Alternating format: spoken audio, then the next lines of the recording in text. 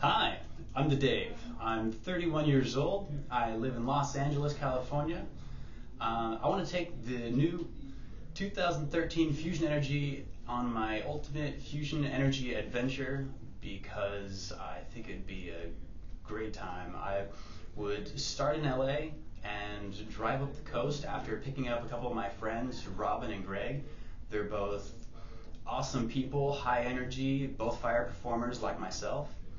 And so we'd start by driving up the coast, take a PCH all the way up to Santa Cruz, at which point we would kick off festivities. Uh, I consider myself a bit of an elemental person. I like to include a lot of the earth, air, fire, water things in my activities. And so we'd start off with skydiving. I've never done it before, but I love heights. I love the adrenaline rush. I think it'd be a lot of fun. And after that, we would drive up to Lake Tahoe. So once we've got the, the air handled, we would have a few other things lined up. Uh, snorkeling, for one, bit of scuba diving, uh, windsurfing. My friend Greg is a windsurfing instructor, and so he could definitely show me the ropes on that. Even though I've never done it before, I think it'd be a good time.